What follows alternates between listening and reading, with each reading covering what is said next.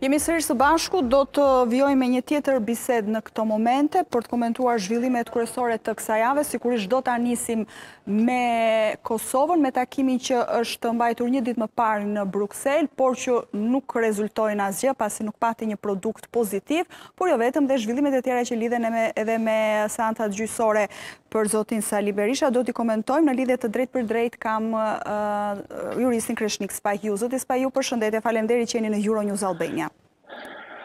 Përshëndetje. E nisim nga kjo që unë sapo thashë, pra pikërisht nga takimi që është mbajtur një ditë më parë në Bruxelles, Unë do doja të citoja vetëm diçka, nuk e di nëse e keni ndjekur nga konferenca për shtyp e Albin Kurtit e cila sapo ka përfunduar, ndër të tjera Kurti ka thënë se drafti i ri, se kjo është e rëndësishme, për formimin e asociacionit i propozuar nga Bashkimi Europian është në përputhje me kushtetutën e Kosovës. Në këtë konferencë ai ka thënë se propozimi parashikon që vlerësimin për të ta japë Gjykata Kushtetuese dhe dokumentin nuk ka dashur ta nënshkruajë Serbia. Pra ka thënë Është Serbia ajo e cila nuk ka pranuar që të arrihet që të ketë një marrëveshje të përbashkët. Gjithsesi, prisnit një rezultat të tillë dje nga Brukseli apo kishit shpresë se diçka do të ndodhte për ta nisur nga Brukseli fillimisht?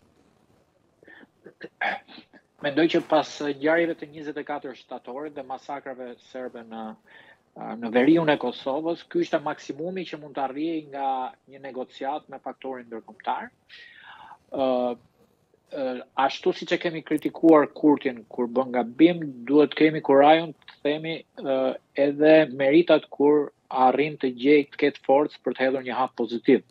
Mendoj që Albin Kurti ka hedhur një hap shumë pozitiv në bashkëpunimin me faktorin ndërkombëtar, me Berlinin dhe me Parisin, duke pranuar projektin franko-gjerman.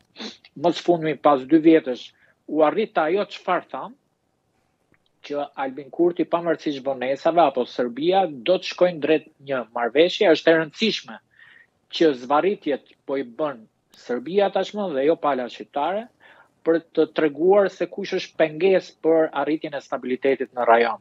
Është mirë që ndonëse me vonesë, më mirë vonë se kurrë, por që ne mos humbasim partneritetin dhe marrëdhëniet me me aleatët perëndimorë.